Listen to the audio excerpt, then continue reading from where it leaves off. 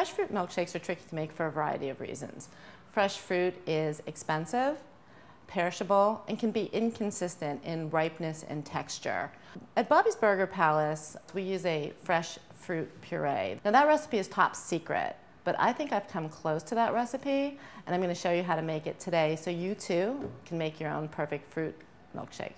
Bobby's favorite berry is blackberry, so I thought I'd make a blackberry puree today that will be used to make a blackberry milkshake. Start with fresh ripe blackberries and sugar and lemon in a saucepan. So I've combined the three. And then what I've done is I've brought them up to a boil and I've reduced it to a simmer. And I've let the berries cook until they become very soft and all of the liquid exudes. Then you want to continue cooking until the mixture thickens. I like to add fruit preserves. And because I'm adding, because I'm using blackberries today, I'm just gonna add a few tablespoons of blackberry preserves. It's gonna help with the texture and again, just intensify that blackberry flavor, which is what you're gonna need when you're making a milkshake that has lots of ice cream and milk in it. You need that flavor to come through.